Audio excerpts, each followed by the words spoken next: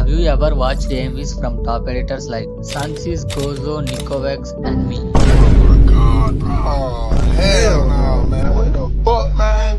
Get your ass on, boy.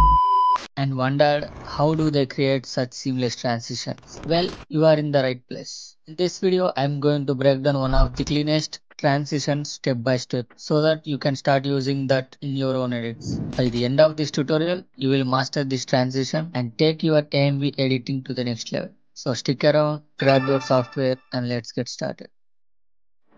Select both the clips in a way that both are from same scene with different zooms. And now lower the opacity for the second clip. And also decrease its scale value and move it somewhere on his face like it matches the scene.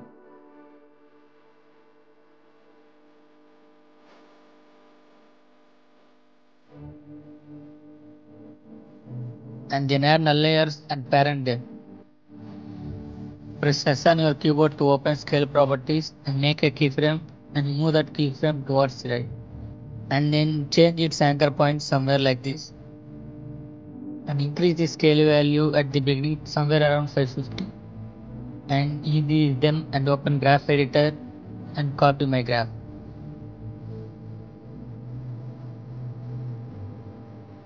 And for the second null layer, open both scale and position property and make a keyframe somewhere here and at the end of the first clip change its values and adjust it like I did.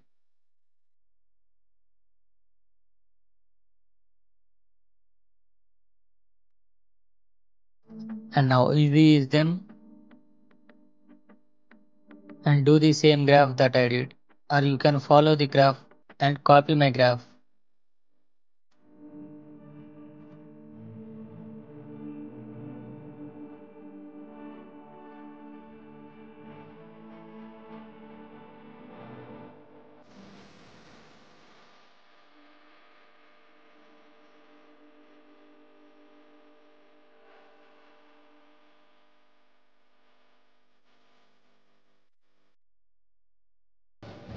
Now add another null layer and then open scale properties and make a keyframe at the beginning and at somewhere around here increase the value by a little and then increase them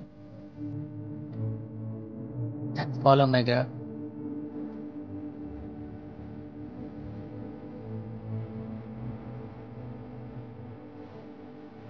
Now let's make this transition even smoother by adding some of the effects. First of all, add an adjustment layer and add an effect called CC Wide Time and make a keyframe and change its values to 0 and move the keyframes towards the left where our transition begins and at the center reset the effect and again at the end of our transition change its values to 0 and adjust it until you get your desired output.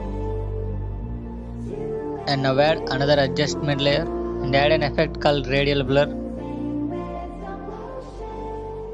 And change its type to zoom. And make a keyframe for the amount at the beginning. And move to the center and change its value something like 65 and at the end reset its values to 0 and you can see how the effects works. And also change its center point to somewhere on his face this is how it looks after adding this effect. Then add another adjustment layer and add an effect called Lumetri color and open basic correction.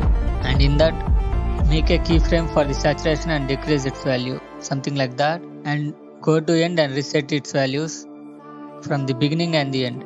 And add another adjustment layer. And now add BCC halftone effect. And go to shape tool and select ellipse tool and double click on it to make a shape like that and change its mode to subtract and also increase its feather amount and make a keyframe for mask expansion by decreasing its value and at the beginning increase the value that the mask didn't show on the screen and copy the same value for the end also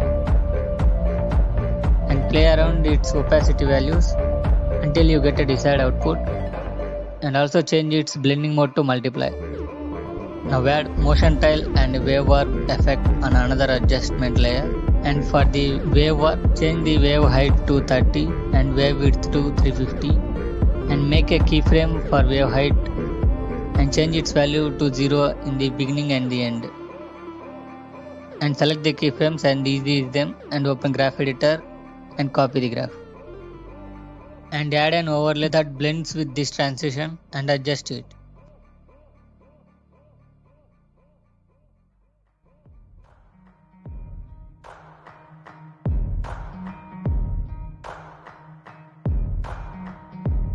And that's it for today. If you found this tutorial helpful, make sure to hit that like button and also drop a comment on what tutorial should I do next. And also don't forget to subscribe and turn on the notification bell so you will never miss videos like this. Thanks for watching and I will catch up in the next one.